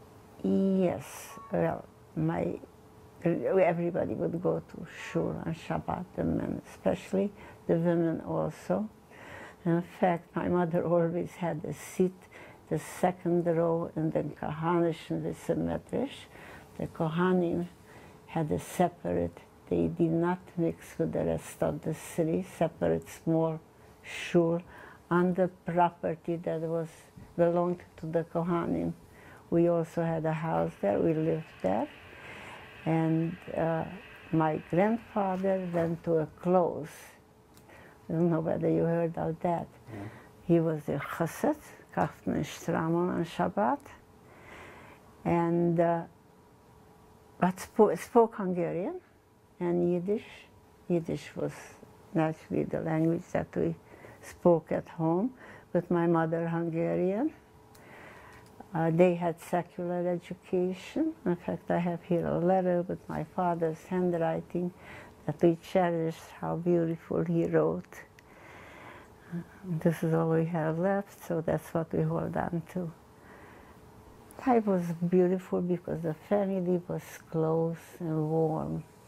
My grandfather would get up at six or seven in the morning. He would be already in our house they lived about a block away with cake that grandmother baked. My mother baked, but grandmother's was better. He would have it wrapped in his pockets. The had large pockets, I remember that. And he looked forward to grandpa coming. Uh, the warmth of the family in itself is something that I cherish. I don't think it exists anymore.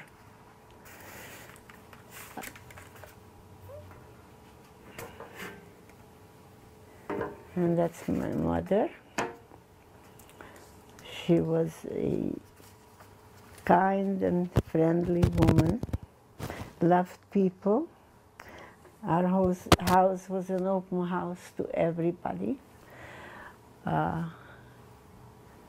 Everybody was an important relative, whoever would show up from across the border. We had a small house, but everybody had room. There was no such thing that we don't have room for someone if they came. And then there were people from out of town that learned trades in the city. They would eat in our house. We didn't have room for lodging but everybody was welcome. There was no such thing that I don't have room. She had help. Life was hard. It wasn't what it is today here. Uh, we did not have any running water in the house yet. And, uh, but we had a servant and also a boy that my mother took in who had parents that were drunkards and he would hang out near the business since it was food for a long time. When he was little, she used to just feed him. Eventually, she took him in, sent him to school, and then he helped out in the house. He remained with us. He was a very nice boy. He was very decent in the ghetto times. Uh, he came around whether they need anything, and my mother would complain, father doesn't drink the milk because he doesn't know where it comes from. So he came one day with a glass large dish. He would go to where they had cows, milk the cows. I was there, Daddy. I watched it. This is kosher. It's clean. I watched it. She never was alone with the milk. You could have it. That's how from they were was important to them.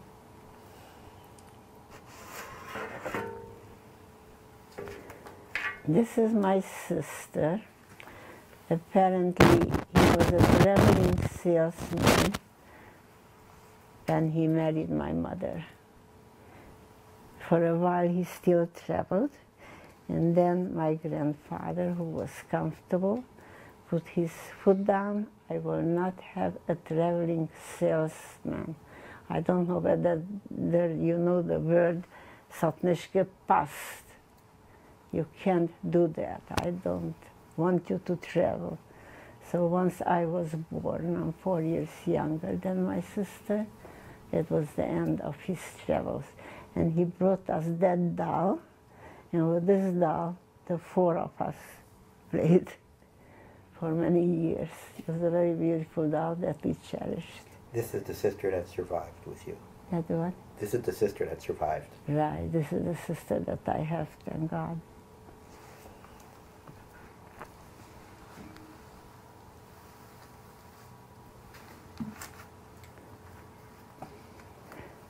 This was the Beis Yaakov in Sighet. We had a wonderful teacher, many classes together. This is my sister. He used to show, Elie Wiesel used to show this picture for many years.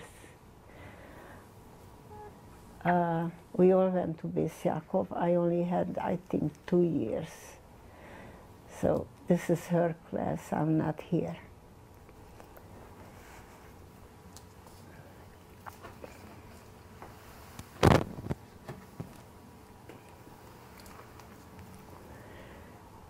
This writing, the Laudet letter, uh, was my father's handwriting. We cherish it. I thought it was beautiful, and it's beautifully written Hunga- in Hungarian. He had Hungarian schools. My parents both had secular education, Hungarian schools. Uh, when my mother and father were born, this was Austro-Hungary for many, many years. Uh, life was good at that time when we were reoccupied. I don't exactly know the year. She always said, this is not the Hungarians I hoped for, because life was very different under occupation of Hungary.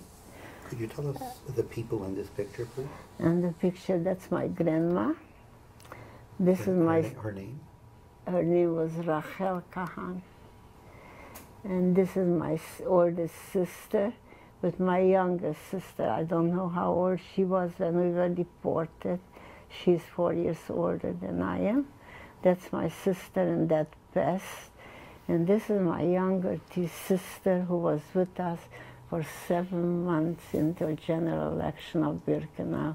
When Birkenau closed up, uh, she was taken away last minute. And at the end, here, Oh, this is me already That's- after the war, 1946.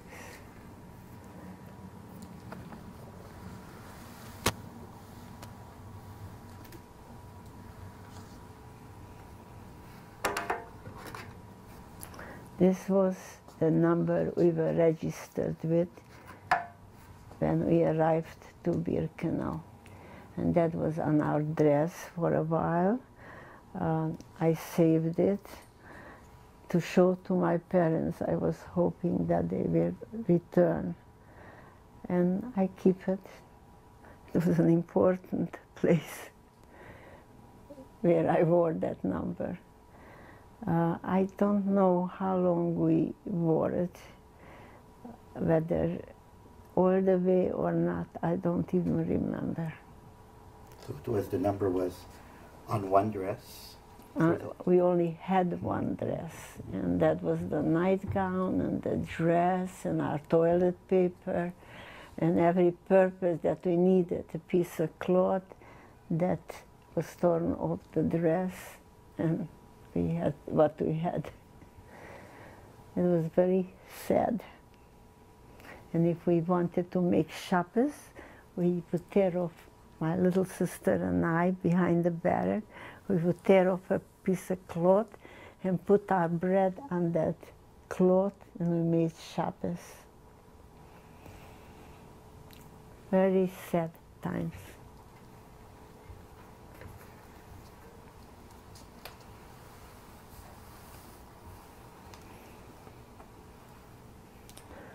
This is my sister who married immediately after the war. My brother-in-law was waiting for her in Sudetenland. That was near the Ostsee. Came back. That's where they settled. They got married in 45. I took her under the chuppah with a ex-brother-in-law. And thank God they are here. They're old and happy ever after. They have three daughters that are married, and life was all right.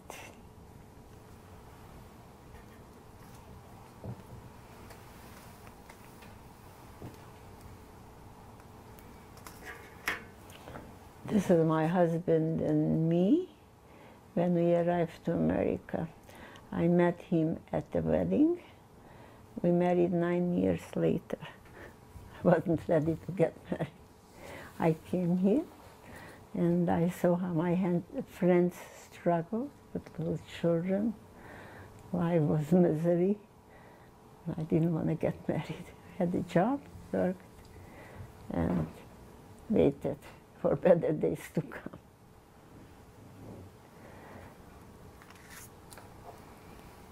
That in itself was a story. And that's my, oh, my husband's. This is, this is the house we had. I was told that it was used for, first it was, we had an extra door, my parents' bedroom. Uh, that, this was taken over by officers in the beginning.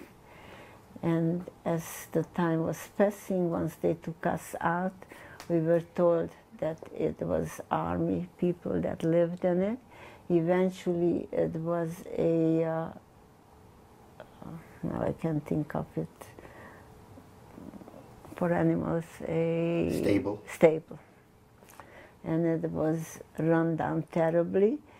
When we came back to Sighet, we stopped in the center of the yard. The woman came out that lived in it, and she asked us who we were. And I was with my sister, with my brother my husband. And we said, we were the people that lived here. She said it couldn't be because they had young children. I said, is that so? And the young children already got old. We were there about uh, 20 years later. And she said, I knew that family. I said, you did? How did you know them? She said, I was a servant down the street at the Katz family. And I used to come to their dairy store to shop for my people. And I said, yes, the children are already grown ups. And she couldn't believe it, that we lived there. And she didn't invite us. A little child was outside. She went telling her mother that there are strangers in the yard. And she didn't even ask us in. But once I told her that the children are grown up, so she said, do you want to come in? I said, no. We did not go in. It was terribly dilapidated. As you see, no stairs, no nothing. But it's many years later, this was the entrance. During the war, my father in the yard were homes, and we had a Gentile janitor that would entertain, let people in, boys and girls. She had a one-room apartment, and my father would escort us through the uh, entrance we shouldn't go alone, didn't trust her. And he said it's dangerous. And this was our business location. I don't exactly know which one because they read down whether this or that, I don't know. And these were the Kahn family. The yard was called the Kahnhof. It was a wealthy family of my parents that we were related to. I don't know whether my father bought that or or inherited, but that's where we lived since I was born until we were taken away. There were our business also. Mrs. Weingarten, um, is there something you'd like to say before we conclude uh, this interview? Is there something you would like to say before we conclude the interview? What should I tell you? It was a tragic time in history. That's how I see it today. when I lived it, it was unbearable. I am not surprised that the world denies it because it's an unheard of story and it was a very tragic time. It doesn't seem real to me even today that this could have happened. Uh, how I remained alive, I don't know, and why I don't know either. There were so many brilliant, knowledgeable, great people that were killed, and I'm here. God was very good to me. I still say God because I don't know a better way. But it's sad.